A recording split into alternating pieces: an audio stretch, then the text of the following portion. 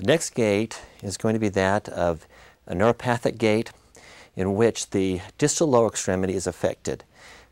For this particular gait, the, uh, the person has the inability to dorsiflex the foot, and so the foot is actually a foot drop, and the person must step high in order to clear the foot. So if I don't step high enough, I'm going to drag the toe of the shoe, and so what um, happens is the person steps high to be able to clear the foot. As the foot drags, or as the foot drop position.